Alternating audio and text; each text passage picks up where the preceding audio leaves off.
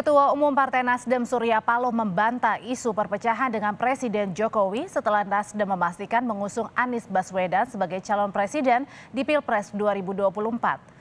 Dalam sambutannya di puncak peringatan ulang tahun Partai Nasdem, Surya Paloh menyebut Presiden Jokowi sebagai sahabat dan yakin Partai Nasdem tetap berada di koalisi pemerintahan Jokowi.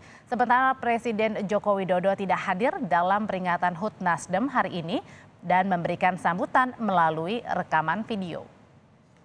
Allah presidennya Partai Nasdem. Presiden Jokowi secara personal adalah seorang sahabat yang saya harap tetap harapkan. Konsisten di dalam menjaga terminologi arti sesungguhnya dari persahabatan.